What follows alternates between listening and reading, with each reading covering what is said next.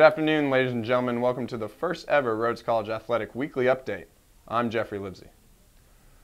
There was a busy weekend this weekend for the Rhodes College Athletics, and we'll start off with a women's volleyball team that was in the SAA Conference Tournament. The women lost the center three games to one, but a bright spot for the Lynx, senior setter Michelle Keena had 39 assists. That performance will put her in the top 10 all-time career leaders in assists here at Rhodes College. The Lynx this season had five more conference wins than they did last season, along with three more regular season wins. And now on to men's soccer. The men's soccer team played Berry College in the SAA Conference Tournament first round.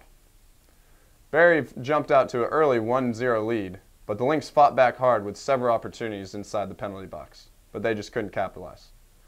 Although Berry won 2-0, senior Eric Lai was named to the All-SAA Conference Tournament team. The Rhodes women's soccer team had a great SAA conference tournament. They opened up in the first round with a 3-0 win over Hendrix College, with goals from Shannon Donaldson, Addie Farguson, and Nicolette Glyden.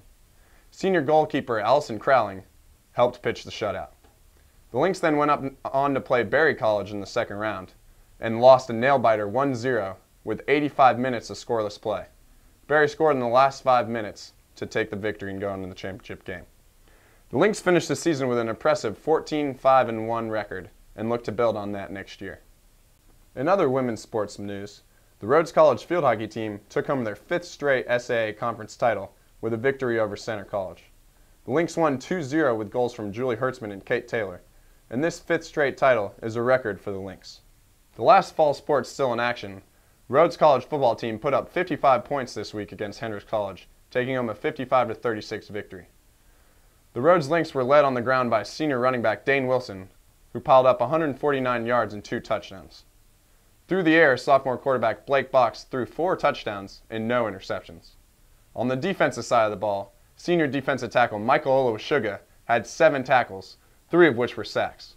This performance earned him the SAA Conference Player of the Week. The Lynx will fight for a conference championship next week against Millsaps Majors at 1 p.m. here at Crane Field. With fall sports wrapping up, it's now time for winter sports. Both men's and women's swimming team were in action at Hendrix College this weekend, and both took home victories. The women defeated Hendrix 80-21, while the men took home a 69-18 win.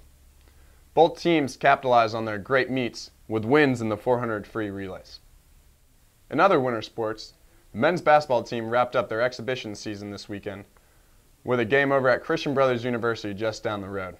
Christian Brothers took home the win, but the Lynx held the high-scoring Christian Brothers offense only 28 points in the first half.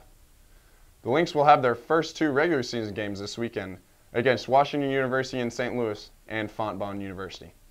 In women's basketball, the women's team will also open up this weekend with two home games, first against Blackburn College on Saturday and Rust College then on Sunday. That's it for this week's weekly update. I'm Jeffrey Livesey. See you guys next week.